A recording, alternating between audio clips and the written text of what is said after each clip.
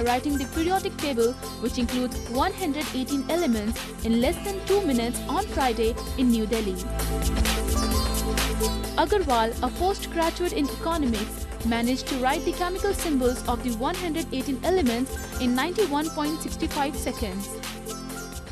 एक international level पर मैं एक ओपन रिकॉर्ड चैलेंज जैसा ये बना रही हूँ और मैं तो चाहूँगी कि इससे लोग इनकरेज हों इसको ब्रेक करने की भी सोचें और इसके लिए मोटिवेट हों और वो जब भी बच्चे बुक खोलें अपनी तो सोचें अरे पीरियोडिक टेबल है इसमें तो रिकॉर्ड भी बन सकता है। चलो क्यों ना इसे याद कर लें She also urged students to learn the table and attempt the record.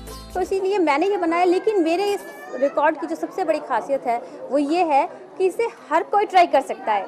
इसे जो स्टूडेंट्स हैं, वो भी ट्राई कर सकते हैं, आप और हम भी ट्राई कर सकते हैं। बिना किसी शारीरिक क्षति के, कोई आपको फ़िज़िकल लॉस नहीं होगा किसी तरह का। आपके पेरेंट्स ये नहीं कहेंगे, अरे बेटा, ये रिकॉर्ड मत ट्राई करना।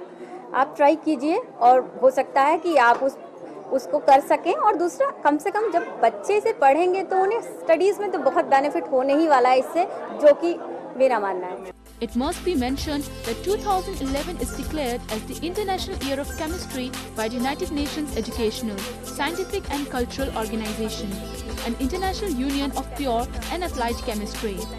Priyanka Vidbanjot for ANI.